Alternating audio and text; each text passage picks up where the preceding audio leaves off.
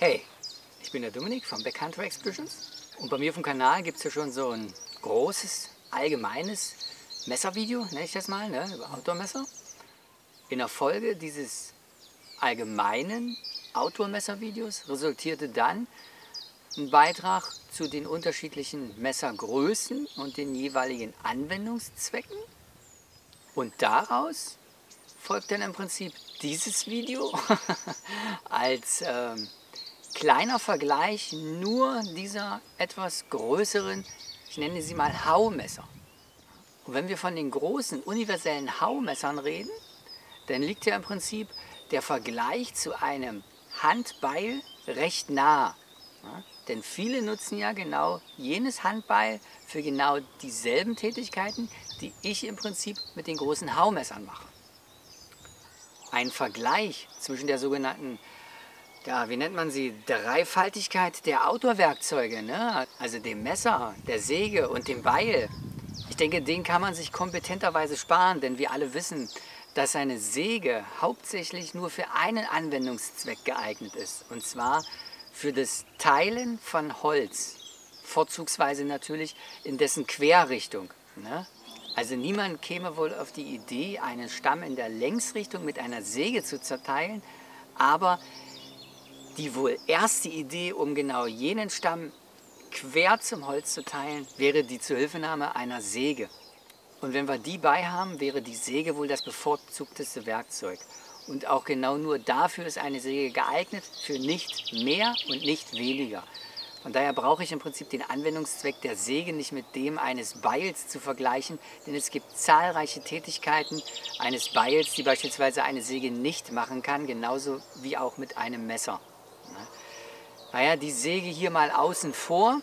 Wir alle wissen, wie enorm praktisch sie ist, wie effektiv, wie kraftschonend sich damit arbeiten lässt. Aber im Prinzip hat das hier nichts heute in diesem Video zu suchen. Hier geht es ausschließlich um gerade Klingen ohne Zahnung. Ne? In diesem Video kommen also drei eigentlich unterschiedliche, aber dennoch Werkzeuge, mit einer gewissen gemeinsamen Schnittmenge zum Einsatz. Ne? Im wahrsten Sinne des Wortes. Nummer eins wäre mein großes Tourenmesser. Ja? Klingenlänge 20 cm. Ne? Effektiv ab Fingerkeul gemessen ist es natürlich ein bisschen weniger. Ne? Klingenstärke 5,3 mm. Schliff konvex. Ne? Gewicht 350 Gramm. Das Messer habe ich auf großer Tour immer dabei. Als reines Haumesser, als das es im Prinzip auch beschrieben ist, kommt dieses Bolo-Messer mit einer 33 cm langen Klinge, ebenfalls konvexen Schliff, ebenfalls einer Klingenstärke von 5,3 mm. Busse Basic 13 Bolo in diesem Fall. Und das Beil, was ich hier nutze, ist mein Grenzforce Wildmax Beil. Ja. Klingenlänge hier 8 cm. Schliff natürlich auch konvex, das heißt ballig. Diese drei Werkzeuge hier können in mindestens einem ziemlich wichtigen Punkt relativ identisch sein, und zwar dem Gewicht. Das Beil hier hat ein Gesamtgewicht von knapp 700 Gramm. ich glaube so irgendwas um die 600, Mitte 80er. Ne? Wie mal Daumen. Ich blende die Werte mal unten ein. Das große Bolo-Messer steht dem nichts nach. Ne? Gewicht auch knapp 700 Gramm. Und das Tourenmesser hat in diesem Fall von den beiden Werkzeugen nur halb so viel Gewicht. Ne? Wie gesagt, ungefähr 350 Gramm. Aber, nun muss man dazu sagen, für die Größe ist es wirklich relativ leicht. Aufgrund der Bauart, wie bereits im anderen Video beschrieben, ist das hier kein Integralmesser, sondern wie man das hier sieht, ne, das ist ein Redtail. Ne, da er alles versteckt. Es ist also relativ klingenlastig. Wenn ich diese Messergröße mit einer Klingenlänge von 20 cm als Integralmesser nutze, dann kann das Gewicht dieses Messers im Prinzip genauso hoch sein wie das der beiden anderen Werkzeuge. Das heißt also zwischen 6 und 700 Gramm. Ne? Und damit stünden diese drei sich im Prinzip, was das Gewicht angeht, in nichts nach. Es gäbe also im Prinzip keine rationale Argumentation mehr, mich für das eine oder andere aufgrund des Gewichtes zu entscheiden. Ja? Denn das ist ja im Prinzip für die Grammjäger immer ganz wichtig, möglichst wenig mitzuschleppen. Ja? Das heißt also, alle drei Werkzeuge, ein großes Messer, ein sehr großes Haumesser, als auch ein Handbeil können gleich schwer sein. Der Unterschied kann natürlich nur die Größe sein. Ja? Wobei hier, wie wir schon sehen, Messer und Beil sich in der Größe, zumindest in der Länge, nach nichts nehmen. Ne? Nur der Unterschied zum größeren, zum sehr großen Haumesser in diesem Fall ist natürlich ein bisschen mehr. Gewichtstechnisch, aber wie gesagt, kein Unterschied. Ja, und dann wollen wir auch schon mal gleich loslegen. Ne? Auf geht's!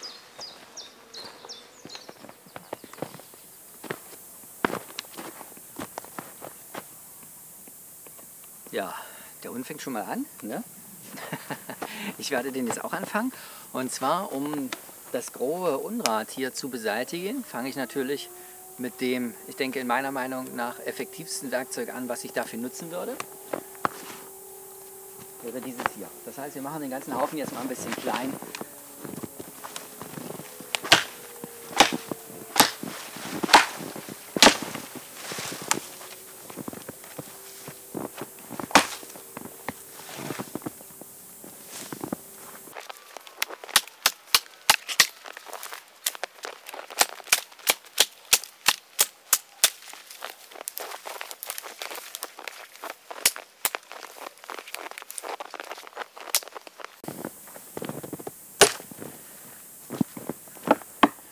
haben wir das Ganze hier so weit vorbereitet, dass ich euch mal einen kleinen Unterschied zeigen kann.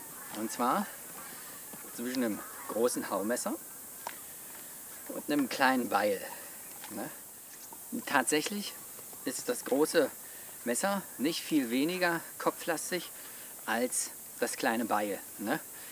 Beim Beil ist nur der Unterschied, dass das meiste Gewicht natürlich nur auf den Kopf des Beils fokussiert ist ne? und der Griff der Stiel relativ leicht ist, während hier das Gewicht auf die ganze Länge eher verteilt ist.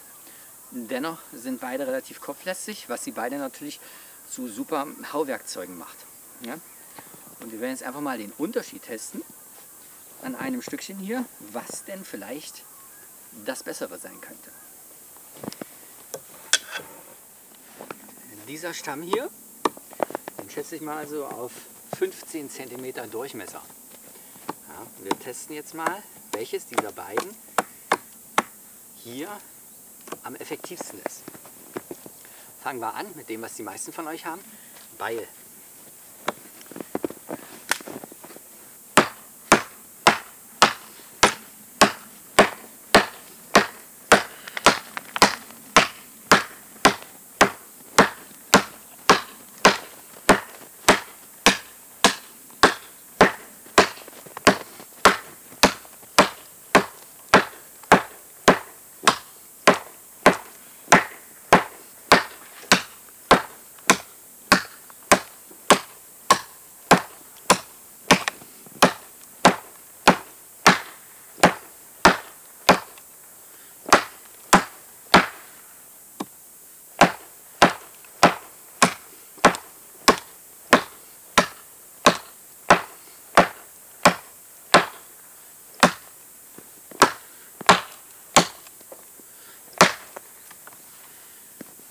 So, dann wird schon warm.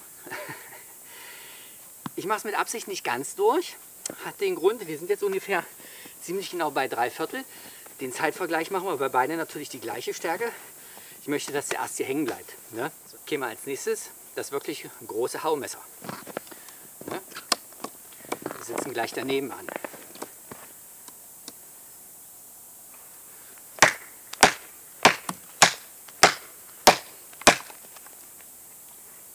Mal ein bisschen ab. Ab. Nee, ab.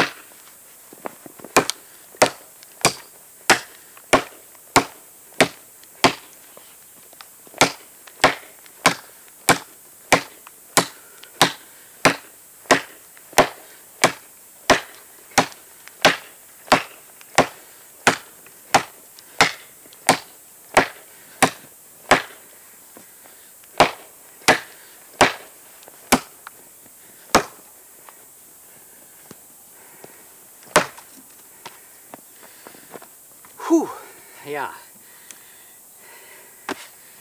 Ich messe die Zeit mal, ne? Den Unterschied, den man hier schon sieht. Wenn ich mir die beiden Keile hier ansehe, die ich ausgeschlagen habe. Der Beil, der Keil des Handbeils deutlich schmaler. Das heißt, ich arbeite hier mit zielgenauer, offensichtlich. Und was ich in der Anwendung gemerkt habe, natürlich durch den Stiel rutscht das Beil nicht aus der Hand. Ne? Es wird hinten breiter und dadurch habe ich immer einen sicheren Griff, auch noch nach 30 Schlägen. Beim Haumesser, wenn man so eins nutzt, sollte man in jedem Fall darauf achten, dass hinten der Griff, das Griffende, ähnlich dem eines Beils ist. In diesem Fall ist es nicht der Fall. Deswegen habe ich nämlich einmal umgegriffen, um zu sehen, wie es in der linken Hand ist. Das Messer tendiert dazu, aus der Hand zu rutschen. Muss man sagen, die Resipren C-Griffe der Busseri Basic-Reihe sind wirklich sehr gute Griffe, da sie top in der Hand liegen und ähm, sehr schlagdämpfend ist. Aber das ist hier natürlich ein reines Haumesser. Das heißt also, hier müsste man etwas haben, damit das nicht aus der Hand gleitet. In diesem Fall, ich zeige euch das gleich nochmal auf dem Foto, ist zumindest von der Zielgenauigkeit tatsächlich das Beil ein klein wenig besser. Ile, komm mal hier rum. Ist das Beil ein klein wenig besser als das große Haumesser. So, wir haben jetzt gesehen, ne? Beil zum Messer bei einem Stammdurchmesser von ungefähr 15 cm. Hier würde ich eindeutig zum Beil greifen. Keine Frage, es ist komfortabler für, wenn man länger schlagen muss. Das heißt, wenn es darum geht, zum Beispiel einen Baum zu fällen ne? oder halt so einen dicken Stamm durchzuschlagen. Wenn es nur darum geht, einen Ast zu nehmen, ne? der ungefähr nur knapp die Hälfte des Durchmessers ist, probieren wir das Ganze nochmal aus. Ne? Wir fangen diesmal mit dem Haumesser an.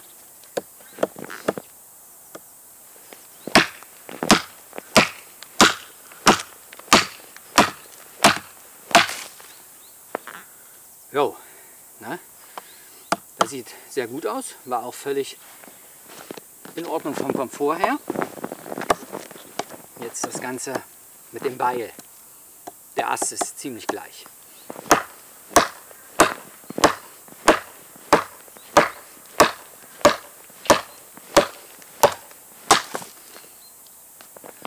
Auch das ging tadellos, muss man sagen.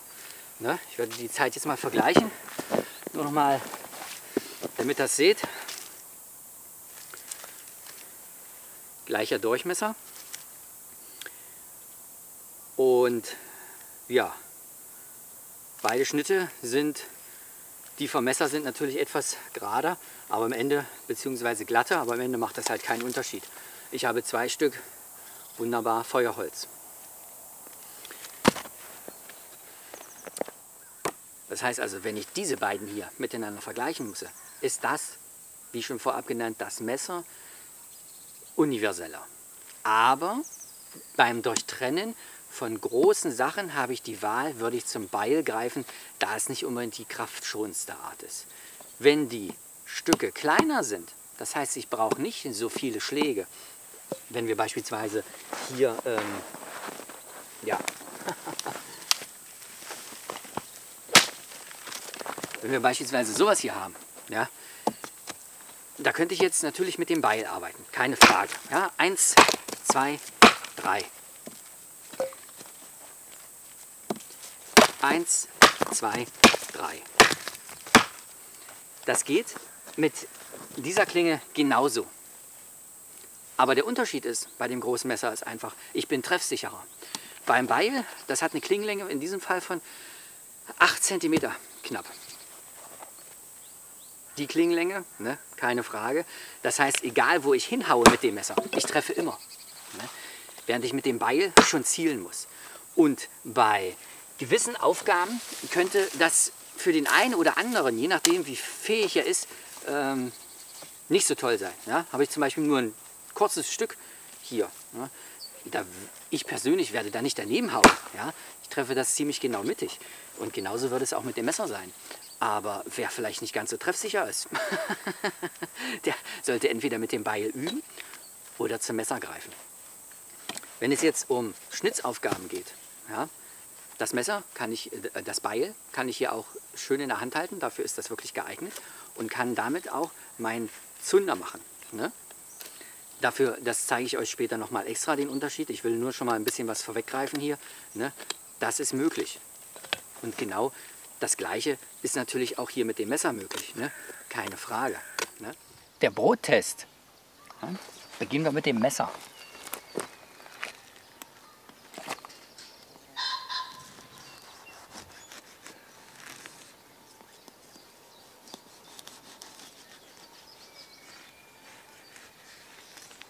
Wie ihr seht, keine Probleme.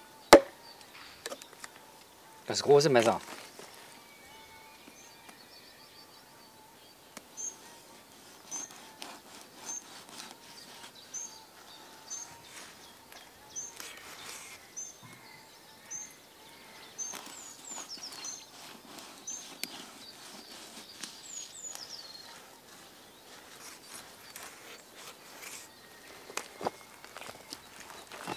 Ihr seht das an der Klinge.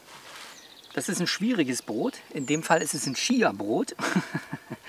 ähm, das ist sehr klebrig vom Teig her. Also es ist schwierig zu schneiden. Ne? Ich habe mit Absicht kein leichtes Brot genommen. Ja? Und natürlich das Beil.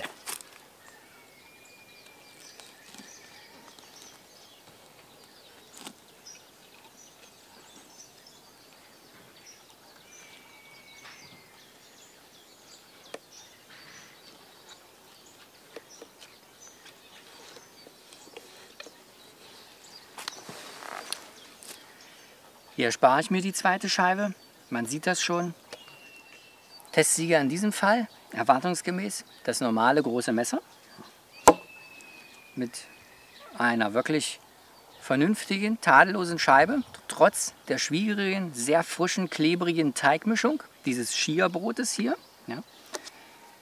Das große Haumesser war auch noch okay. Ja. Jetzt nicht meine erste Wahl, aber dafür völlig ausreichend noch. Das heißt also auch ein normales Brot ist damit gar kein Thema. Und das Beil, tja, mehr schlecht als recht, würde ich sagen. Ne? Im absoluten Notfall geht das, ansonsten definitiv nicht dafür geeignet.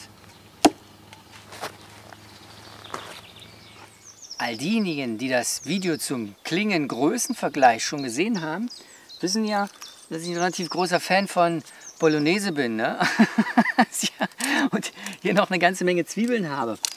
Äh, für alle anderen nochmal, die Zwiebeln ist mehr oder weniger eigene Ernte, ne? stammen aus dem letzten Herbst und liegen hier schon seitdem draußen bei mir im Wald. Haben also auch schon wirklich alles mitgemacht bis minus 20 Grad Celsius. Ne?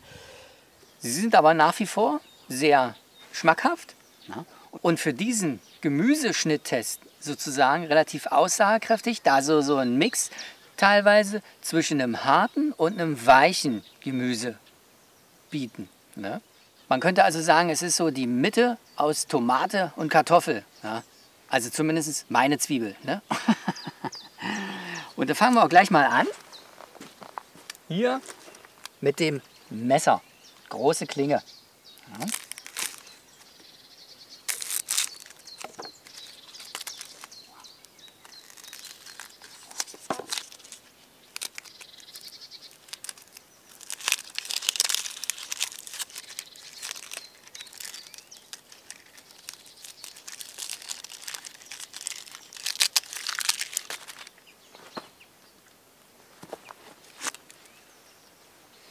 Greife bei dem großen Messer hier natürlich wieder in die Fingeraussparung, beziehungsweise auch mit der Daumenauflage in Kombination, weil natürlich meine Modifikation an diesem Messer auch genau dafür da ist.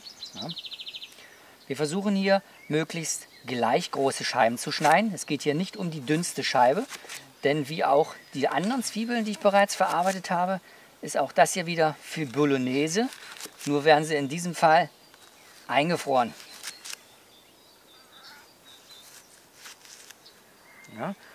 Wie ihr seht, hat das wunderbar funktioniert, ohne Probleme. Wir machen mal gleich noch eine, damit ihr seht, dass das nicht nur beim ersten Mal funktioniert hat. Ja.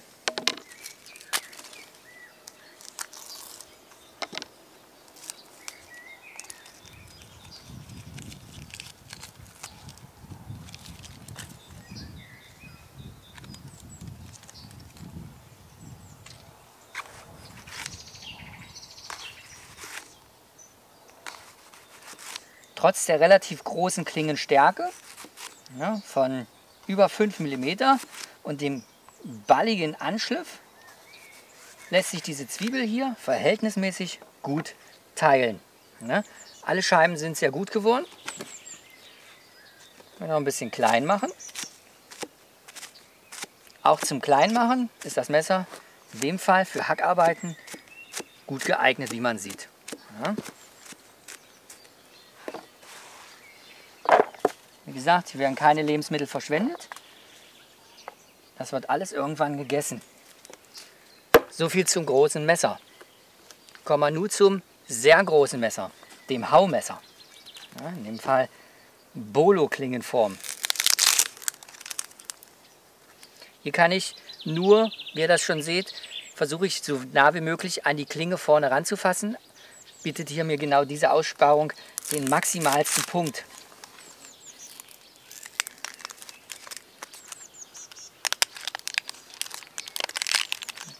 Ja, muss ich aufpassen, dass es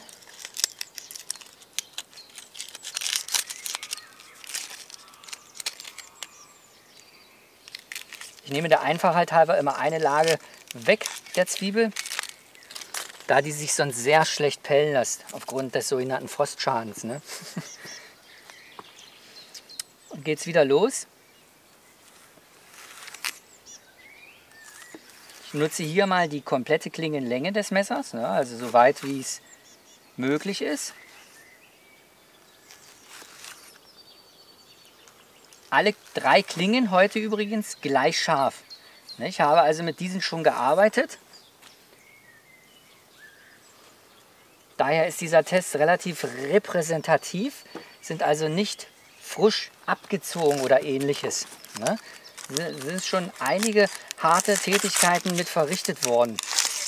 Mit allen drei Klingen hier, wie gemerkt. Ne? Von daher würde ich mal sagen, Schärfe liegt vielleicht so bei na, 85 Prozent. Ne? Ich könnte damit vielleicht noch zur Not ein Papier gerade schneiden, aber das wäre vielleicht schon grenzwertig, muss ich sagen. Aber für diese Aufgaben, ne, wir schneiden ja hier kein Papier, sondern Lebensmittel.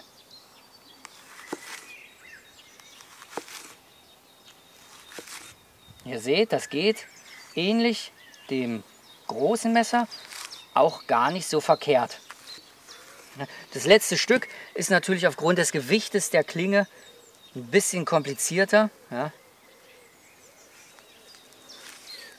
Die Bolo-Form hilft mir übrigens dabei sehr gut, das Schneidgut im Prinzip zu teilen, da wenn ich es lang ziehe, ich keinen Druck ausüben muss aufgrund des Gewichtes der Klinge, die ich einfach nur mehr oder weniger gerade halte, zieht sie von ganz alleine im Prinzip schon durch das Schnittgut durch. Ne? Von daher ist diese Form im Prinzip auch so meine praktischen Lieblinge. Teilen. Zum Teilen ist jetzt weniger Auflagefläche als mit dem großen Messer. Ich habe nur den Bauch hier. Ne? Hier habe ich die komplette Länge gehabt. Ne? Und hier im Prinzip nur das Stück, was weiter unten ist. Wenn ich halt hier im Prinzip auf meinem sogenannten Tisch bleiben möchte, ja, das heißt, ich treffe mit einem Schlag ein bisschen weniger, aber es geht flüssiger durch. Ne?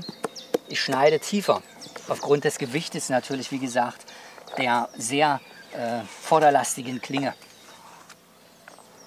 Das war jetzt im Prinzip das Bolo. Nun kommen wir zum Beil. Wenn die ersten vielleicht schon die Nase rümpfen. Aber auch das muss ja getestet werden. Ja.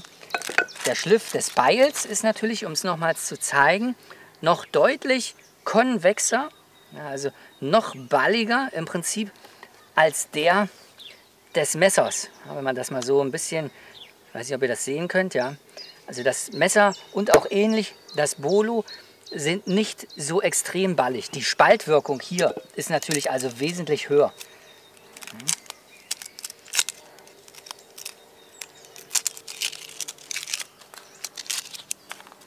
Wir versuchen jetzt trotz der hohen Spaltwirkung mal möglichst gleiche Scheiben zu schneiden, soweit wie das geht. Ja?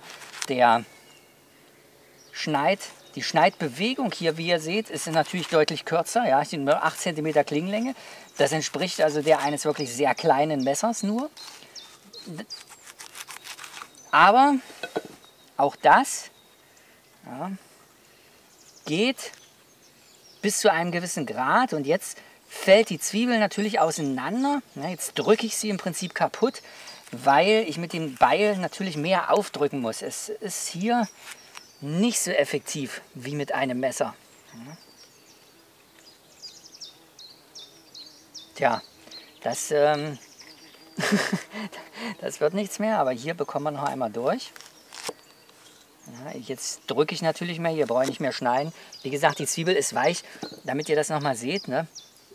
Die kann ich hier wirklich, naja, schwierig. Also ich kann sie aber gut zusammendrücken. Also fällt jetzt natürlich auseinander, aber ihr versteht zumindest, was ich damit sagen möchte. Ne? Die Zwiebel ist weicher, als ihr das denkt.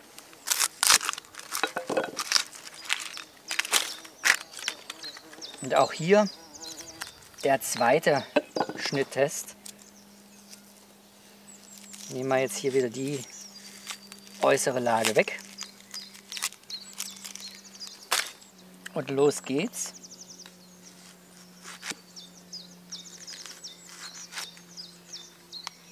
Das ist natürlich von Typ zu Typ des Beils unterschiedlich. Nicht jedes Beil kann ich am Kopf so gut führen, wie beispielsweise dieses hier. Ne, ich habe mir das ja extra deswegen ausgesucht, weil es relativ führig ist noch für einen Beil. Da gibt es andere Kandidaten, die diese Griffposition hier überhaupt nicht erlauben würden. Ne? Und trotz dessen, ihr seht, das Beil ist nicht stumpf, ne? aber es drückt mir das Schneidgut eher kaputt, als dass ich damit ja, vernünftig arbeiten könnte.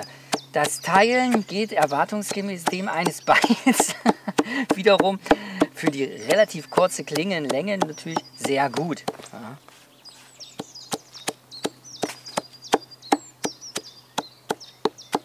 Aber nicht unbedingt schneller, ne? weil wie gesagt, ich öfter schlagen muss.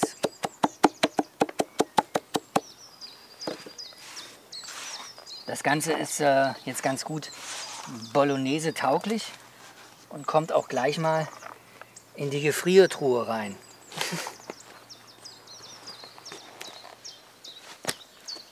Für den nächsten Test machen wir jetzt Äste mit einem Durchmesser von ungefähr 5 bis 8 cm, Pi mal Daumen, möglichst klein.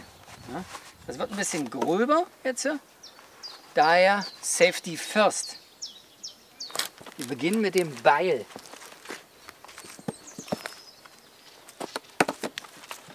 Ich versuche hier ungefähr 30 cm lange Stücke abzutrennen. Und wichtig bei solchen Hack- und Hauarbeiten ist immer ein wirklich fester Auflagepunkt des Werkstückes.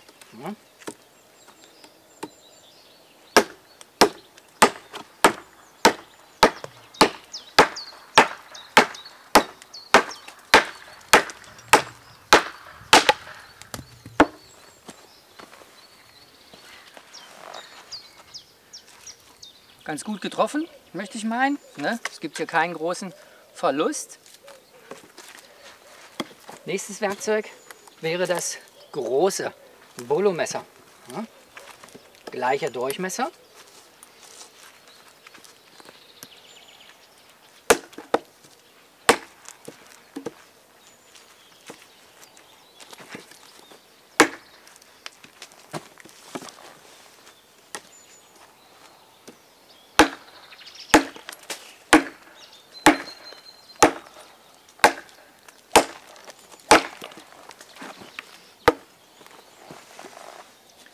Seht auch hier, ähnlich effektiv. Ne? Der Anfang war ein bisschen schwieriger, weil sich das Bolo-Messer aufgrund der naja, weniger Balligigkeit, ne? also es ist natürlich deutlich schmaler als das Beil und damit beißt es natürlich deutlich tiefer bei gleichem Gewicht. Ne? Das heißt, hier muss man darauf achten, dass man das, wenn es im Werkstück drinsteckt, dass man es auch wieder rausbekommt. Ja. Muss ich dazu sagen, diese Kiefer ist gestern erst gefällt worden. Sie ist also frisch. Ne? Bei einem härteren Holz wäre das ein bisschen was anderes. Und Variante Nummer 3 wäre das Messer. Jetzt können wir uns schon vorstellen, wenn wir jetzt hier ebenfalls mit dem Shopping weitermachen, ist das ziemlich mühsam. Aber für den ersten Versuch machen wir das mal, um hier den wirklich 1 zu 1 Unterschied zu sehen.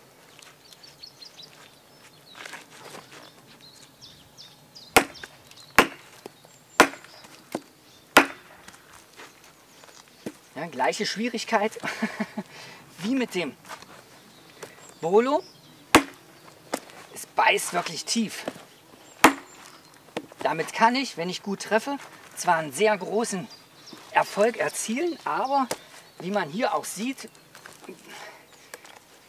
es ist anfangs schwierig.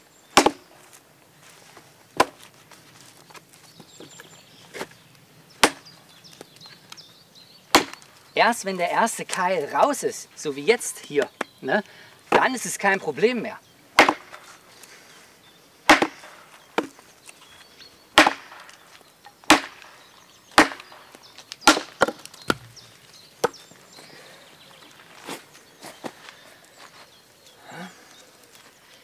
Also das Messer hier natürlich erwartungsgemäß langsamer und schwieriger. Mehr Kraftaufwand für nötig. Ne? Jetzt haben wir hier vier gleich große Stücken. Und jetzt machen wir das Ganze mal, nachdem wir das jetzt eben mit dem Chopping hatten, nehmen wir jetzt mal das Betoning. Der ist ein bisschen unförmig gebogen, aber tatsächlich gleich stark. Da habe ich darauf geachtet vorhin. Den nur ein bisschen glatter machen vorne. So. Ihr seht schon, wozu ich automatisch greife, ne? ich mir von den drei mein Lieblingswerkzeug aussuchen muss. So, gerade Auflagefläche. Wieder 30 cm Beil und diesmal das Beil nicht dafür, wo es eigentlich für geeignet ist, zum Schlagen, sondern diesmal mit dem Betoning. Das heißt zur Hilfenahme eines Schlagholzes. Das ist hier in dem Fall Maulbeere. Ja, ist vor ungefähr vier Wochen gefällt worden. Also war schon tot. Ja. Ähm, also stabil genug, denke ich.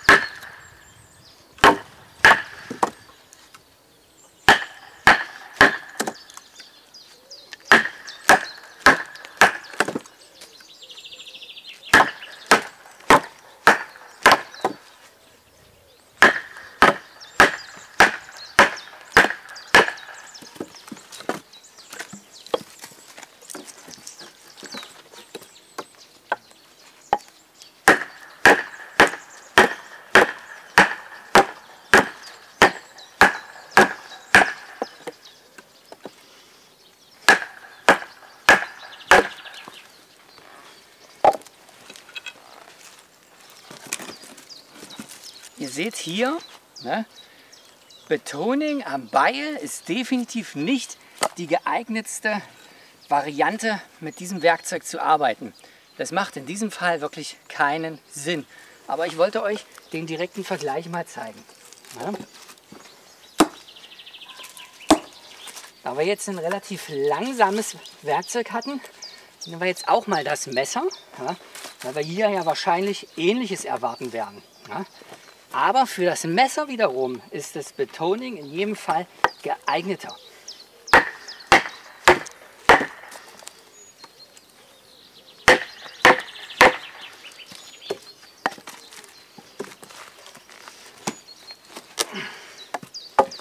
Also wenn ihr das mal irgendwo in einem Video seht, das was ziemlich tief beißt, Das könnte daran liegen, dass das Holz wirklich noch frisch ist.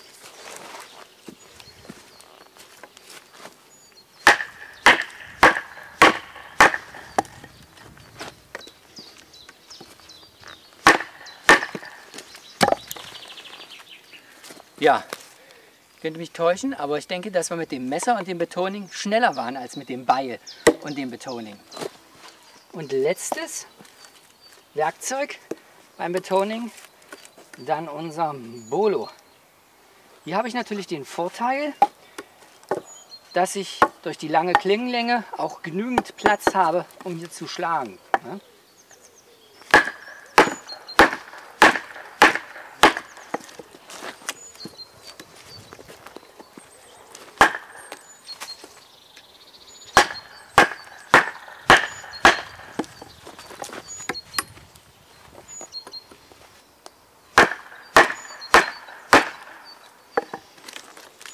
Ja, der Schnitt ist hier am saubersten und es ging am schnellsten.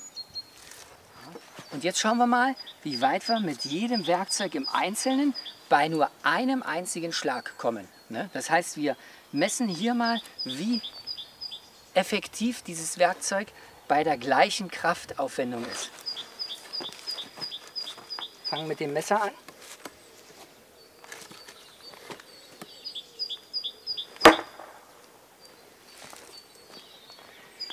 Bin hier mit dem Messer ungefähr ein Drittel, ja doch, ziemlich genau ein Drittel tief in den Ast hineingekommen. Wir versuchen das jetzt mal stecken zu lassen, ja, in der Hoffnung, dass es nicht rausfällt und nehmen das sehr große Haumesser. Gleiche Test.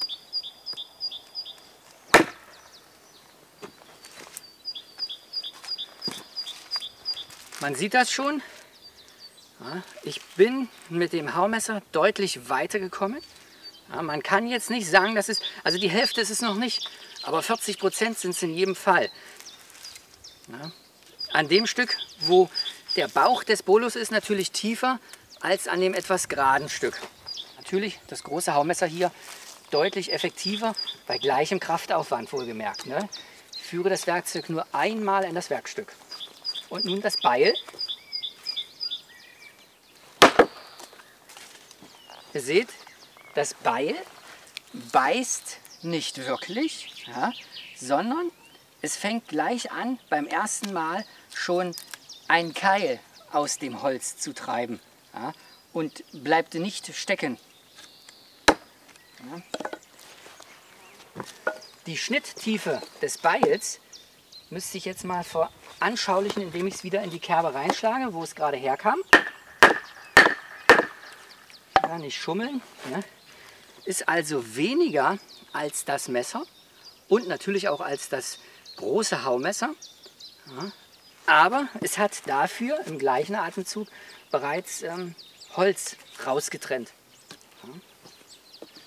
Für den dritten Test am Ast nutze ich jetzt die jeweils für das einzelne Werkzeug effektivste Variante zum Trennen dieses Astes. Ne? Das sind jetzt unterschiedliche Methoden, aber ich versuche jetzt im Prinzip so schnell wie möglich mit dem geringsten Kraftaufwand einzeln durchzukommen.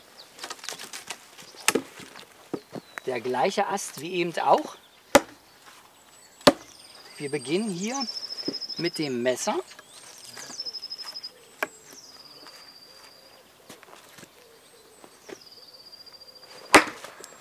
Den ersten haue ich mal so rein und dann geht's los.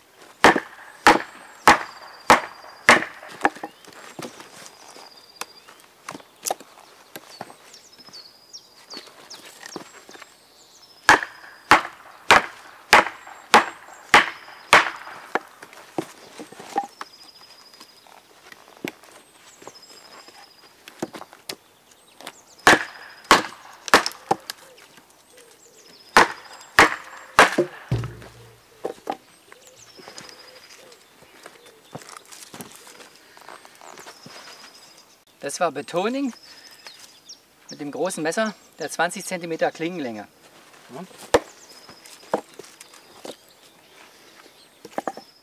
Als zweites mein großes Haumesser.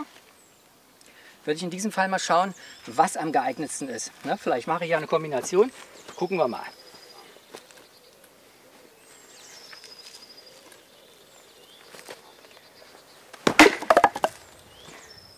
Tja.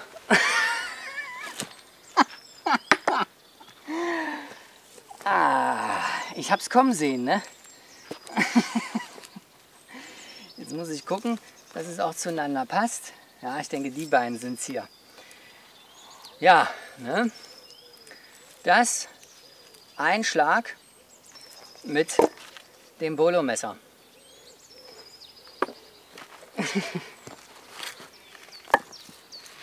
Und beim dritten Werkzeug, dem Beil, werden wir natürlich die gleiche Variante nehmen. Ne? Dafür ist es halt geeignet.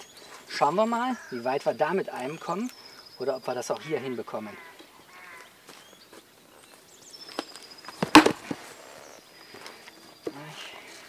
Ich habe mir Mühe gegeben, aber mehr war nicht drin.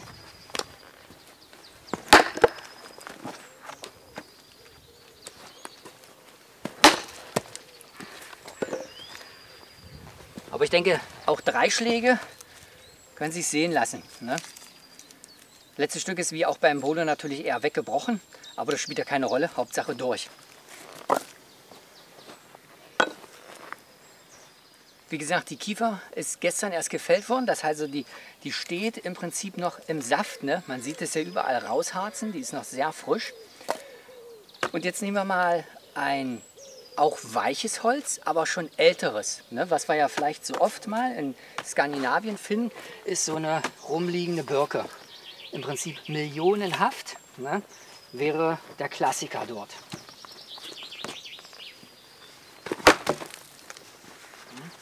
Mit dem Messer sind wir bis zur Hälfte durch. Birke eignet sich natürlich vorzüglich zum Anzünden aufgrund des äh, hohen Anteils an Ölen in der Rinde. Ne? Ich könnte jetzt natürlich, auf, weil ich schon halb durch bin, das Ganze auch mit dem Knie brechen. Ne? Also ich brauche da jetzt nicht noch weiter drauf rumschlagen. Messer einmal bis zur Hälfte. Jetzt im Prinzip meine beste Freundin. Aber immerhin.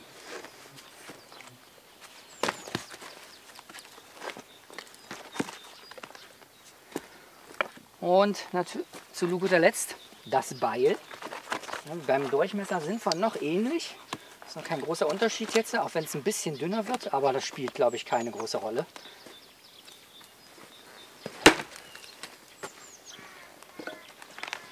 In dem Fall punktet das Beil. Ne?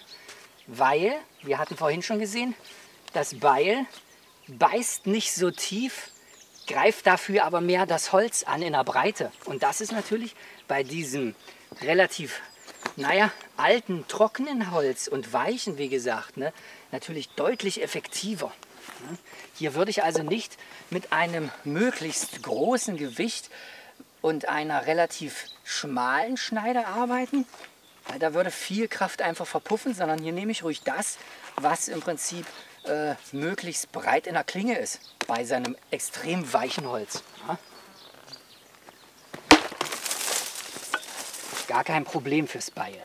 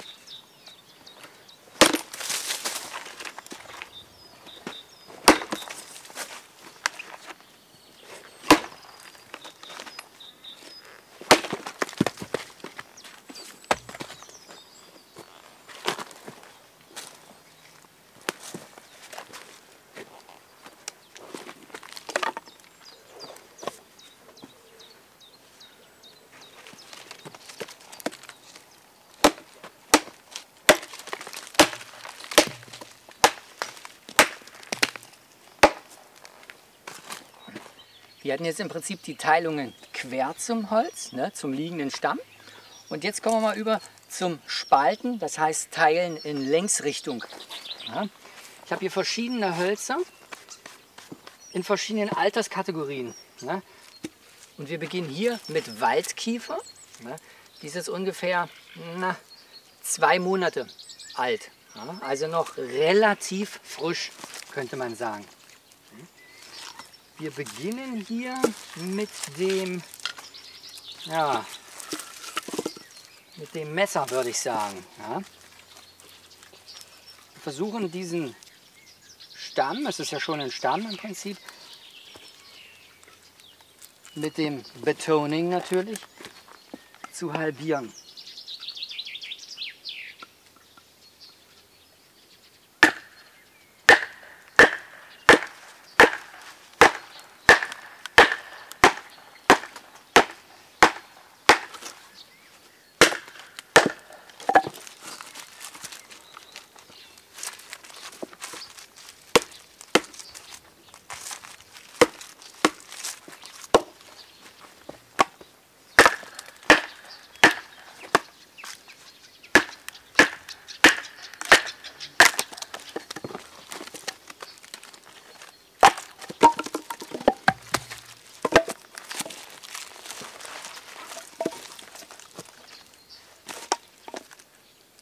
Ihr seht, kein Problem. Ne?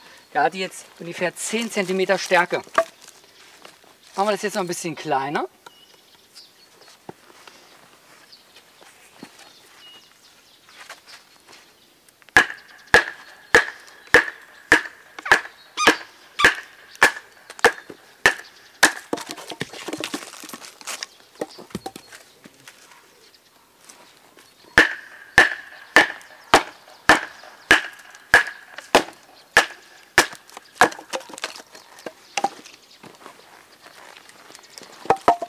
Jetzt haben wir vier Stücke. Ne? Das sind eigentlich ziemlich genau perfekte Holzscheite für so mittleres Feuer. Ne? Die brennen zwar nicht besonders lange, dafür relativ gut an. Würde man also so schon sehr gut nehmen können.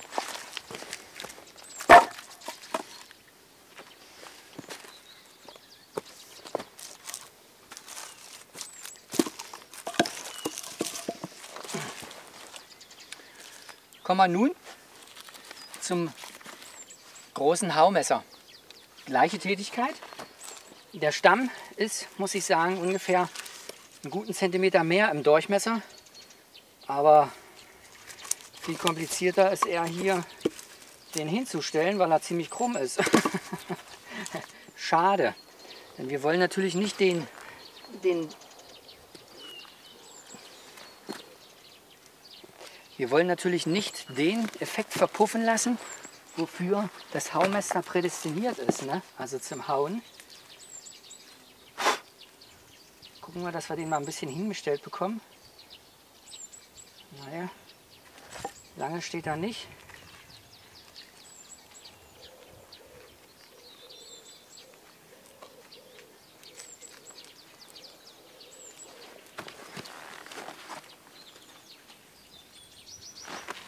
So, ne? jetzt schauen wir mal, dass wir das Messer schon vom Anfang an gut angesetzt bekommen. Also nicht so. Der Stamm ist schief, muss ich mal auch mal was zu meiner Verteidigung hier sagen. Deutlich besser. Ne? Und dann ziehen wir jetzt hier durch. Ah, das war es denn auch schon. So, wir hatten jetzt die Kiefer ne? und jetzt gehen wir mal über zur Birke. Das ist ja eigentlich so diese klassische Kombination ja, aus dem skandinavischen Norden. Kiefer-Birke, das findet ihr zum Beispiel überall, das ganze Jahr über, in hundertfachen. Das muss auch nirgendwo frisch gefällt werden, auf keinen Fall. Das ist immer genug Alt- und Totholz vorhanden. Ne? Diese Birke ist ungefähr drei Jahre alt. Ja? Und äh, wir werden die jetzt einfach mal mit jedem Werkzeug spalten. Beginnen wir mit dem Beil.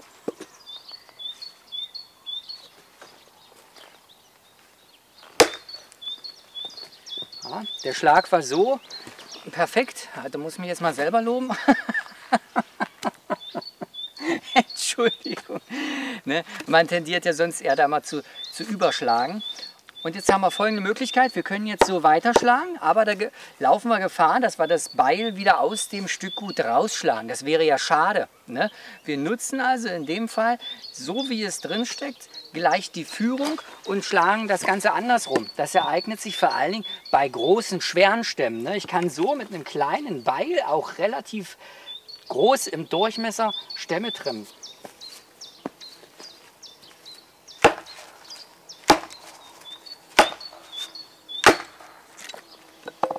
Also ich habe jetzt hier also nicht am Beil unnütz gehebelt, um, um den guten Vorsatz zu zerstören, sondern habe den ausgenutzt und bin genauso gut durchgekommen. Ja.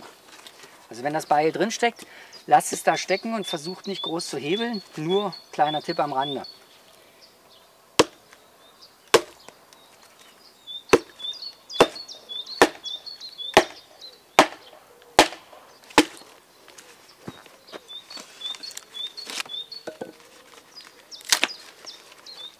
Also ihr seht wirklich, die Birke ist trocken. Ja, ich habe da jetzt nicht gelogen.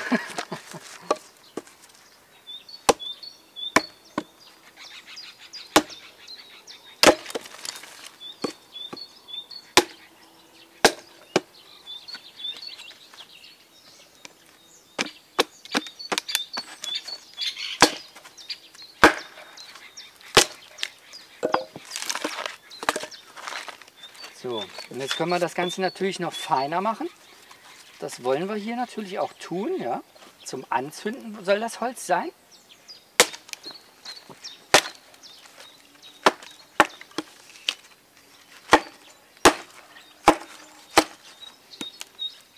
Hier ist sogar ein bisschen Wurm drin.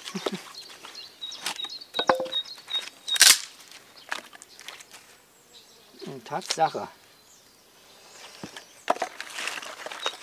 Gut, also das haben wir gesehen. Mit dem Beil gar kein Problem, ja, das zu spalten.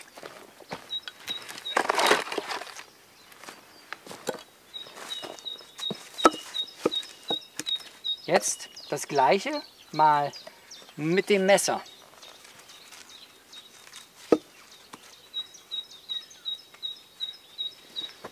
Hier wieder unvorteilhafte Lage. ounces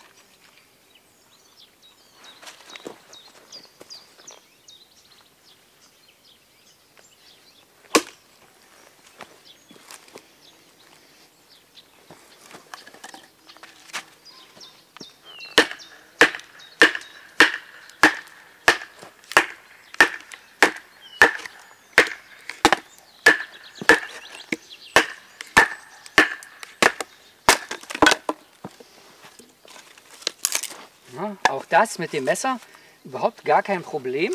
Es verlangt in dem Fall etwas, hm, wie soll ich sagen, mit dem Messer brauche ich etwas mehr Kraft durch das Schlagen im Prinzip. Und bei dem Beil kommt es ein bisschen mehr auf die Technik an. Aber ich würde sagen, die Zeit im Endeffekt kein großer Unterschied.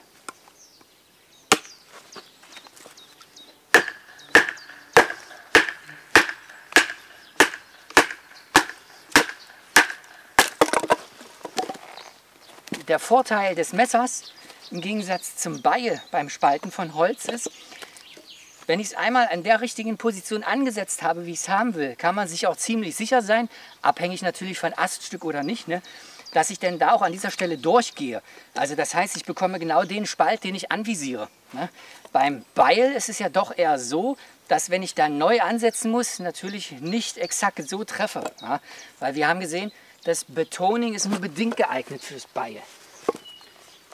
Betoning grundsätzlich nicht kräftesparender, aber dafür genauer.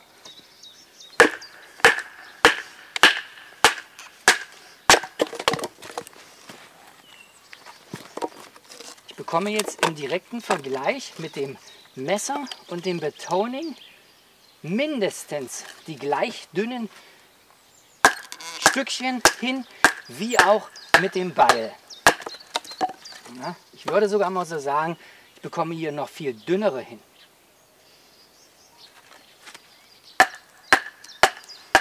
weil das Messer natürlich nicht so ballig geschliffen ist, wie der Kopf des Beils breit ist und damit mir die Sticks nicht wegbrechen. Das heißt, möchte ich möglichst feine haben, wäre das Messer dazu deutlich eher geeignet als das Beil.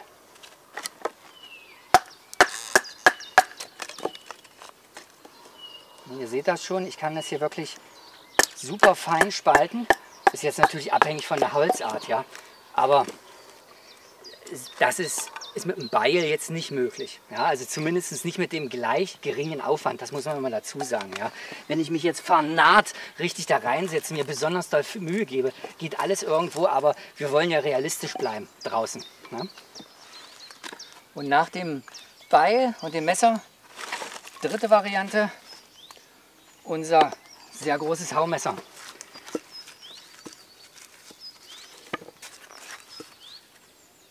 Auch hier mache ich es wie bei beiden anderen auch.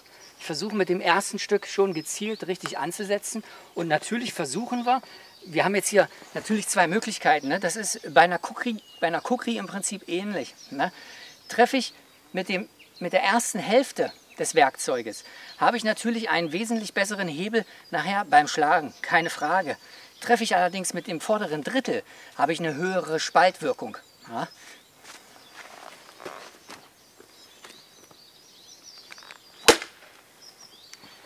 Das war, ich verzichte jetzt auf das Eigenlob, ne?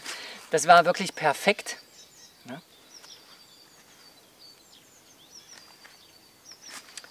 Und jetzt habe ich mit diesem Werkzeug, so wie es jetzt hier drin steckt, gleich mehrere Möglichkeiten. Ich könnte jetzt entweder Betoning hier vorne draufhauen, das wäre wirklich im Nu durch, als auch ich könnte das Werkstück hier auf den Klotz hauen, um dann damit weiter zu spalten als auch natürlich, ich kann es, wie wir es eben schon hatten mit dem Beil, auch so schlagen, je nach Abhängigkeit davon, wie, wie tief ich drin bin halt natürlich. Ne? Und kann dann natürlich auch überschlagen. Zum Beispiel kann ich hier diese Spitze verwenden. Ja? Also diesen Klotz hier mit, wenn ich so spalte. Ja?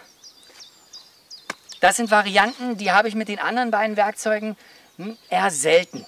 Ja? Also worauf ich hier nochmal hinaus will, ich bin tatsächlich mit diesem großen Haumesser deutlich flexibler in der Anwendung. Ich versuche jetzt die Möglichkeit zu nehmen, die hier am schnellsten geht natürlich, ja, vermeintlich.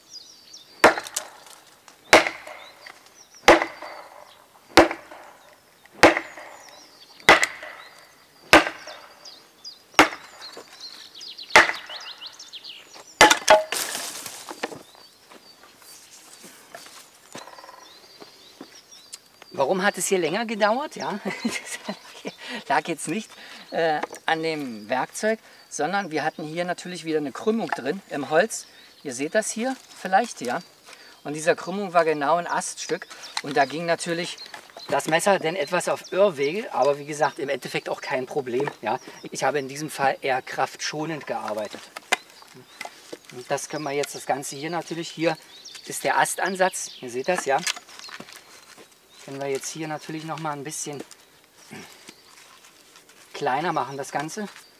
Wir fangen wieder an der leichten Seite an.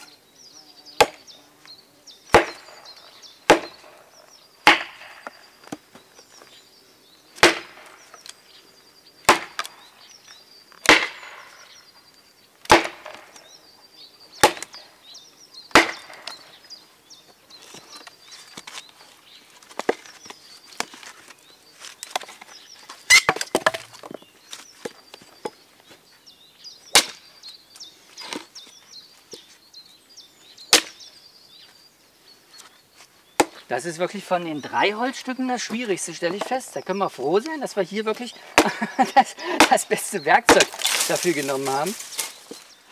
So, jetzt haben wir im Prinzip mit den drei Werkzeugen, jedes auf seine Art und Weise, Feuerholz relativ klein gemacht. Und jetzt schauen wir mal, dass wir damit ein paar Anzündspäne oder wie es heutzutage ja heißt, Feathersticks hinbekommen. Den Heimarbeitsschutz können wir jetzt weglegen. Es wird wahrscheinlich nichts mehr durch die Luft fliegen. Ja. Und wir fangen mal, ja, ich müsste jetzt eine Umfrage machen, ne? Mit welchem Werkzeug starten wir denn jetzt, ja? Ip, zip, zap und du bist ab. Das ist jetzt mal andersrum gemacht, ne? Wir nehmen das Beil. Und wir schauen jetzt mal, dass wir mit dem, ihr seht noch mal, na, oder auch nicht, das weiß ich nicht, ähm, es ist noch gut scharf. Ja? Schauen jetzt mal, dass wir hier aus der Birke, wie gesagt, ne, ein paar Späne bekommen.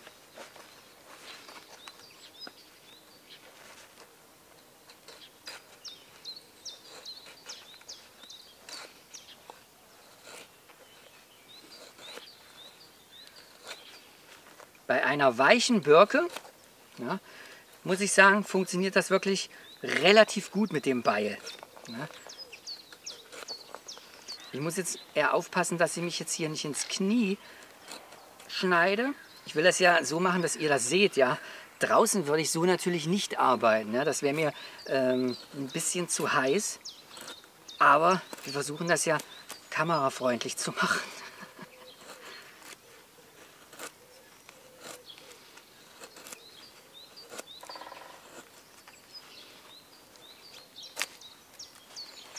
So, ja, das ist Resultat Beil. Im Prinzip tatsächlich kein Problem. Ja.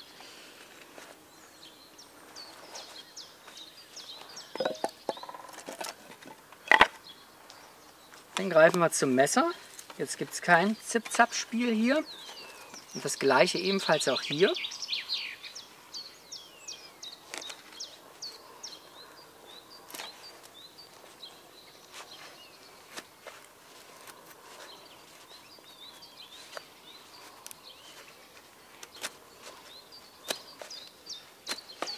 Messer muss ich feststellen, ja, es ist noch scharf, aber es war schon mal schärfer. Beim Messer habe ich jetzt hier tatsächlich, bei dem großen Messer, eher das, äh, ich will nicht sagen Problem, ist ein Komfortding. Ne? Fasse ich den Griff an, geht mir viel Hebelkraft verloren, weil ich ja weiter vorne schneiden muss. Ich kann aufgrund meines Fingerkeuls leider nicht hier direkt am Griff ansetzen. Ja? Das wäre jetzt bei einem Messer von Vorteil, wo ich kein Fingerkeul habe, sondern die Schneide durchgängig bis zum Griffstück ist. Ne? Hat beides Vor Nachteile, diese Bauart. Ja? Ich versuche jetzt natürlich vorne anzusetzen in meinen Fingerkeul hier, ja? aber es ist dennoch nicht so führig tatsächlich, wie eben das Beil war, aufgrund der, was ja nur eine relativ geringe Klingenlänge hatte. Ja? Das ist jetzt hier tatsächlich machbar mit dem Messer. Ja? Bekomme jetzt hier Späne hin, aber ich sage euch gleich, ein Preis im Erzgebirge gewinnt das hier nicht. Das liegt jetzt allerdings an der Bauart. Ne? Und ich muss immer dazu sagen, das ist mein Tourenmesser.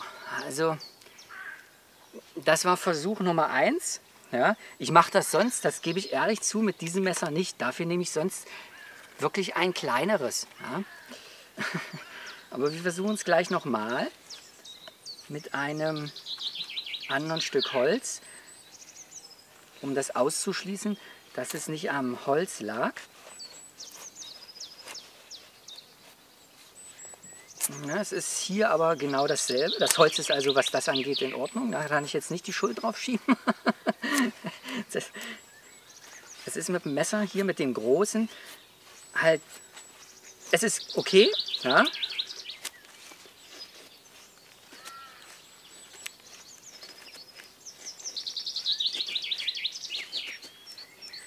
Auch das mit dem Messer, ihr seht, kein Problem. Wenn ich jetzt den direkten Unterschied zwischen Messer und Beil nehmen müsste. Ja, wo haben wir jetzt hier den Zopf vom Beil? Hier ist der Zopf vom Beil.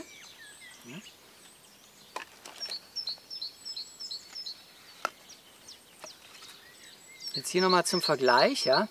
Messer, Beil das Beil ein bisschen gröber in, im Span. Ja. Mit dem Messer kriege ich ein bisschen feinere Stücken hin. Aber das, wie gesagt, erstaunt jetzt auch nicht, da das natürlich wesentlich balliger und keiliger ist im Endeffekt, ne, als das Messer. Und jetzt, last but not least,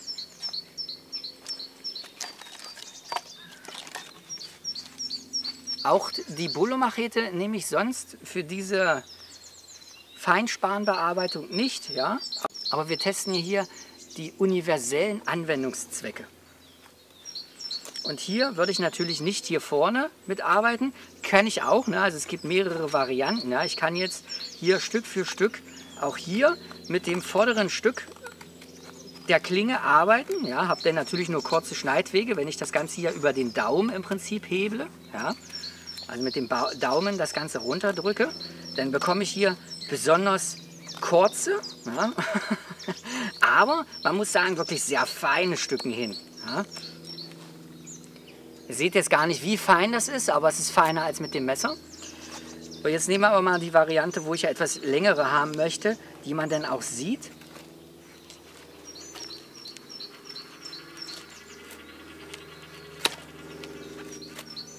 Man muss, ihr seht schon, aufpassen, ja, wohin man hier im Prinzip mit dem Messer arbeitet, damit man mit der langen Klinge nicht irgendwo in, äh, in irgendwas reinhaut. Ja, das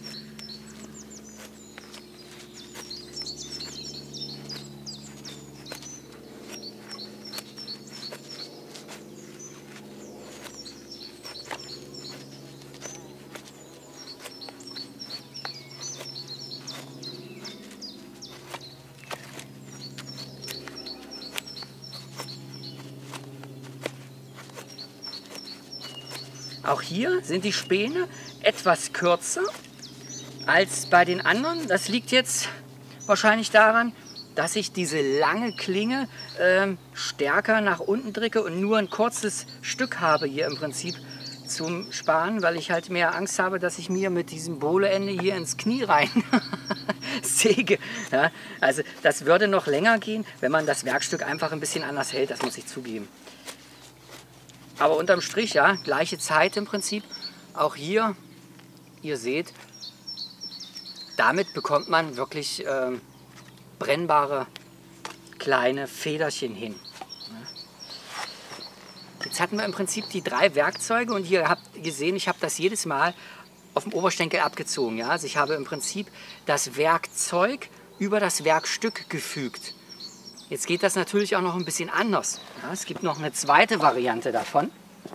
Die werde ich jetzt auch mal zeigen, um da den direkten Vergleich zu haben.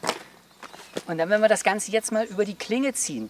Denn das ist tatsächlich die etwas kräfteschonendere Art. Ja, wenn ihr die Möglichkeit habt, die Klinge irgendwo anzusetzen, fest in den Punkt zu arretieren, wie ich hier zum Beispiel in diesem Holzstück, ja, es gibt ja die verschiedensten Stämme draußen auch, ne, Möglichkeiten, dann ist das eigentlich eher meine bevorzugte Art, weil sie im Endeffekt kräfteschonender ist. Ja? Die andere Sache, das ist die, wenn ich besonders viel Eindruck machen will oder wenn man irgendwo in der Survival-Schule ist, um das Ganze besonders schön hinzubekommen. Ja? Wenn ich ein Foto machen möchte von diesen Sticks zum Beispiel. Aber wenn es einfach nur darum geht, möglichst schnell, effektiv und kräfteschonend zu arbeiten, ist das hier meine bevorzugte Variante. Ja?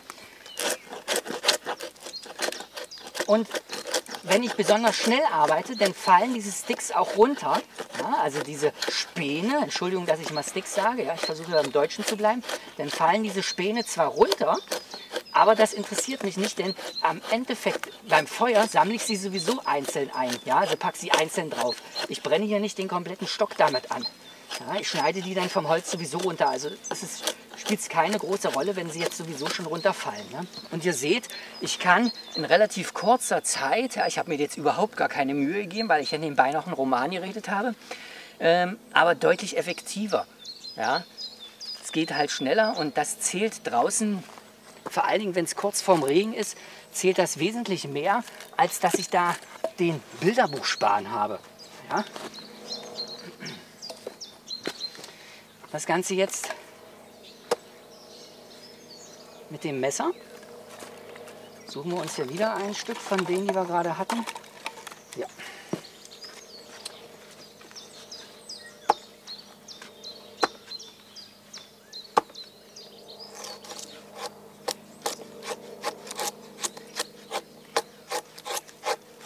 Hier kann man halt die, die Spanenstärke auch sehr gut variieren, je nachdem, in welchem Winkel ich dieses Stück Holz zur Klinge anstelle. Das ist übrigens auch mal eine Art, Speere herzustellen, ne? Keile.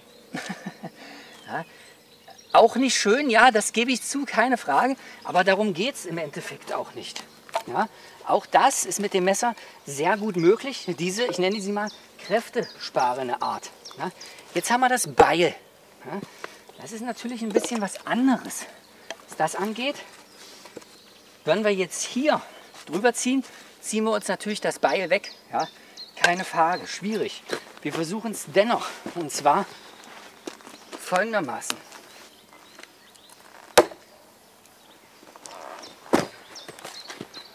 So, ja. und jetzt ziehe ich hier rüber die Späne ab. Erstmal hier muss ich sagen, das Ding war der, das war das krumme Holz, ja.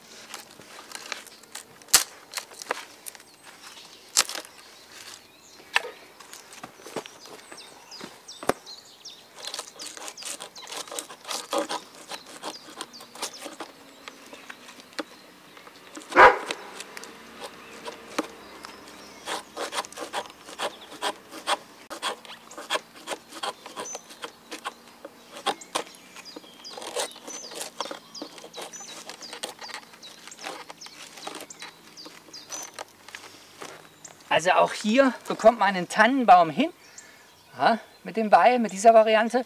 Natürlich nicht ganz so einfach, weil die Klinge hier natürlich deutlich kürzer ist und es schwierig auch ist, draußen so ein Stück zu finden, wo man die genau so eintreiben kann. Ja, das gebe ich zu. Deswegen würde ich mit dem Beil, beim Beil würde ich doch eher dazu tendieren, das auf diese Art und Weise zu machen. Ja, das ist, wie gesagt, meine Schnelle und hat auch funktioniert. Ja, wenn ich das jetzt nochmal vergleiche mit dem Beil hier, die beiden Varianten. Wichtig ist, dass wir feine Späne haben. Jetzt haben wir hier ein paar Spänchen hergestellt, ja. Damit das, nicht ganze, das Ganze nicht umsonst war und mir auch glaubt, ja, wenn ich sage, das Zeug brennt, werden wir das auch gleich mal genau dahingehend vorbereiten, dass es genau das auch tut. Ja. Ihr seht, ich, äh, hätte ich jetzt besonders schöne Späne gemacht, dann müsste ich jetzt ganz besonders traurig sein. Ja? In diesem Fall trenne ich mich ohne jedes Gewissen im Prinzip von diesen Spänen. Ja?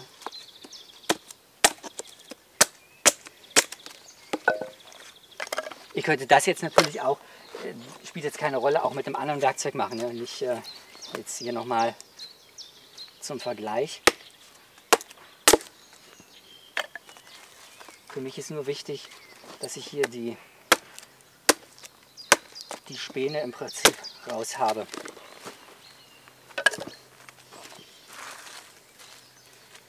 So, und das haben wir jetzt auch.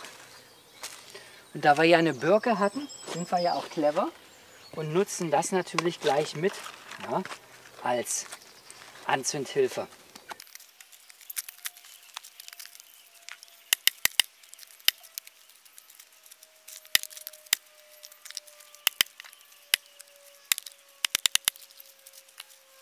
So, damit wir jetzt nicht umsonst gearbeitet haben, sondern ich werde hier ein Feuer machen und das auf meine große Feuerschale übertragen, auf der ich dann heute auch noch ein bisschen grillen werde. Also das Ganze hatte wirklich einen Sinn, das Holz hier zu zerteilen. Ne? Das Ganze jetzt nur hier in Brand setzen. Dazu noch ein Wort. Das ist hier 0815 Feuerstahl, ne? überhaupt nichts Besonderes. Ich mache auch noch mal ein Review bei mir auf der Seite, wo ich verschiedene vergleichen werde. Ähm, da werde ich auf das Thema nochmal genauer eingehen. Ansonsten nur eins in diesem Video vorab zum Thema Feuerstahl, was ich mal gesagt haben möchte. Ich habe hier so einige Messer bei mir im Sortiment ne? und ich bin nicht unbedingt der Meinung, dass das schlechte Klingen sind. Ne? Ganz oft sieht man ja, dass der Feuerstahl ja, mit der Klinge abgezogen wird. Das heißt nicht mit der Schneide in dem Fall, sondern mit dem Klingenrücken. Damit das Ganze funktioniert, ja, muss hier natürlich eine relativ scharfe Kante drüber gezogen werden. Ja? Das heißt also, der Klingenrücken muss dafür besonders scharf sein. Ja? Um nicht zu sagen, eigentlich schon angeschliffen scharf. Und zwar so scharf, dass wenn ich mit dem Klingenrücken arbeite ja, und ich da den Daumen drauf habe und den auch zum Spalten von Holz zum Beispiel benutze, jegliche Drückarbeiten und so weiter, es immer dazu führen wird, dass entweder mein Daumen, also im Prinzip das menschliche Fleisch oder aber auch das Holz, womit ich draufschlage, was auch immer, beschädigt wird. Auf so einem scharfen Klingenrücken, der in der Lage ist, diesen Feuerstahl oder auch jeden anderen einen guten Funkenflug abzugewinnen, ja, das führt auch in jedem Fall immer dazu, dass mir der Finger wehtut, wenn ich da oben drauf drücke bei starken Arbeiten. Daher meine persönliche Meinung zu diesem Thema. Ich bewerte deswegen ein Messer nicht schlecht, weil es sich nicht dafür eignet, mit einem Feuerstahl in Verbindung benutzt zu werden. Denn selbst dieses Messer, ja, das würde ich jetzt mal sagen, ist so ein mittleres, aber das benutze ich halt ziemlich oft stark und das wird auch mal extrem hart rangenommen. Selbst dieses Messer besitzt, ich weiß nicht, ob ihr es seht, ein relativ ähm, geraden Klingenrücken. Ja, also man könnte sagen, fast 90 Grad zur senkrecht abfallenden Klinge ist der Rücken. Ne? Wenn ich da drauf drücke, merke ich in jedem Fall die Spitze. Aber passt auf.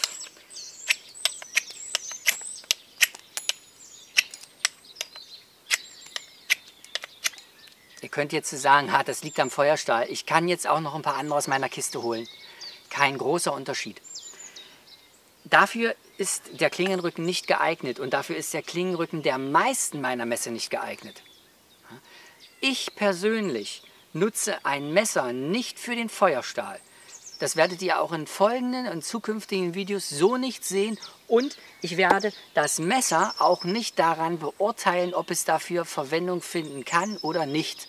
Das heißt, in meinen Produktrezensionen bei mir auf der Webseite werde ich das nicht als Negativkriterium aufführen. Klingenrücken ist nicht für Feuerstahl geeignet, weil ich meiner Meinung nach den Klingenrücken für andere Tätigkeiten bevorzugt benutze, anstatt ihn für den Anwendungszweck auf einem Feuerstahl im Prinzip blank und scharfkantig zu schleifen. Das soll jetzt hier nicht heißen, dass ich hier die Menschen verurteilen möchte, ähm, die ihr Messer benutzen, um das über einen Feuerstahl abzuziehen. Ganz und gar nicht. Macht das ruhig, wenn ihr das wollt. Das ist gar kein Problem. Und wenn das mit eurem Messer funktioniert, schöne Sache. Aber ich persönlich mache es halt nicht, da ich den Klingenrücken für andere Tätigkeiten nutze und die Kombination dieser Tätigkeiten harmoniert nicht mit der Nutzung auf einem Feuerstahl. Sprich, entweder ich will das eine oder ich brauche das andere. Ne? Nun könnte man ja sagen, okay, die Phase für den Feuerstahl ist ja nur ein geringes Stück auf dem Klingenrücken. Ja? Meist wird ja der vordere Bereich genommen, weil ich hier die meiste Kraft zum Hebeln habe. Ja? Nun könnte ich sagen, ich gehe weiter vom Griff weg. Ja? Nach vorne brauche ich nicht mehr gehen, weil da ist die Hebelwirkung zu lang. Ich müsste schon irgendwo in der Mitte bleiben im Prinzip, ja. Und da würde ich ja vielleicht auch nicht mit dem Schlagholz beim Betoning draufschlagen und da würde ich auch nicht unbedingt mit meinem Finger rankommen. Da habt ihr durchaus recht, ja. Wenn man also diesen Bereich hier, wo ich mit dem Finger nichts zu suchen habe, auch mit dem Schlagholz selten rankomme, den könnte man ja theoretisch dafür benutzen. Warum mache ich es trotzdem nicht? Ganz einfach, weil ich, wenn ich den so blank schleife, das hier ist Eisen, was anderes ist das ja nicht. Das ist ein Stahl mit verschiedenen Legierungselementen. Ziehe ich das hier öfter drüber ab, schaut euch mal nach einer Weile euer Messer an. Abhängig vom Stahl. Und das ist kein Aussagekriterium für die Güte eures Stahls. Denn es gibt Stähle, die beispielsweise, ich habe das in meinem anderen Video vorgestellt, ne, ich denke da an den CPM 4V, ne, der extrem korrosionsanfällig ist. Der, der im Prinzip rostet der schon vom Hingucken. Ja?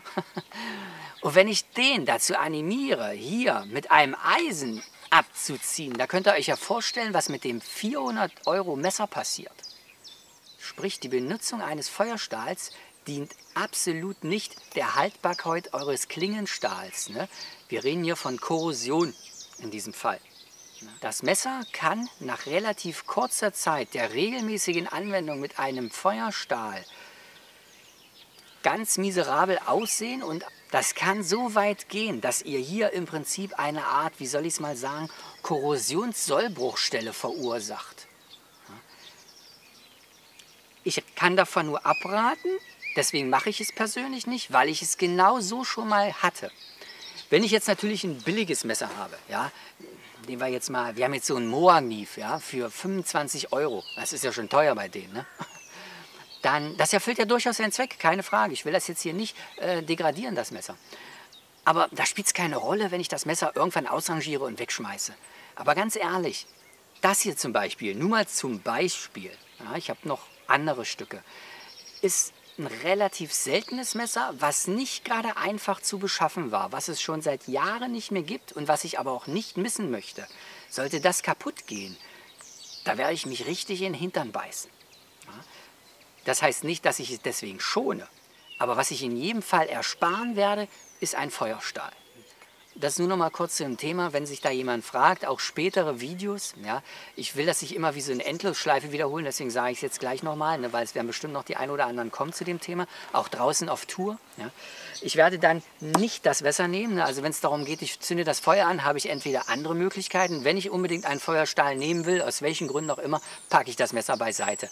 Und dann nehme ich aber auch nicht unbedingt das billige Ding, was hier dranhängt. Das kann funktionieren, meistens ist das Seil sowieso zu kurz, ja, dann muss ich es lose machen machen, dann verliere ich es, mache ich es zu lang, stört es und so weiter.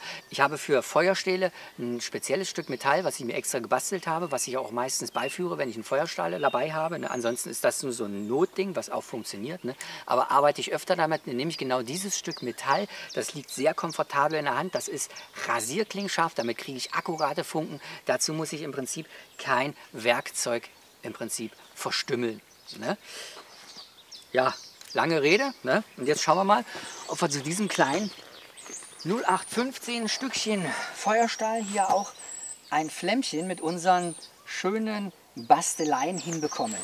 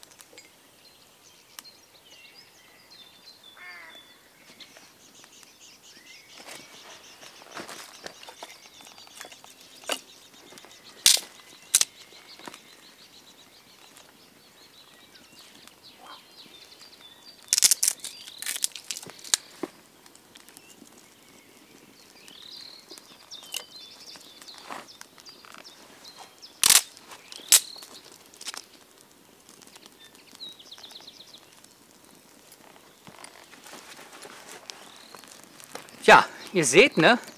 Ähm, wir waren erfolgreich. Hier nochmal das, worum es heute ging. Ja? Messer, Beil und Haumesser.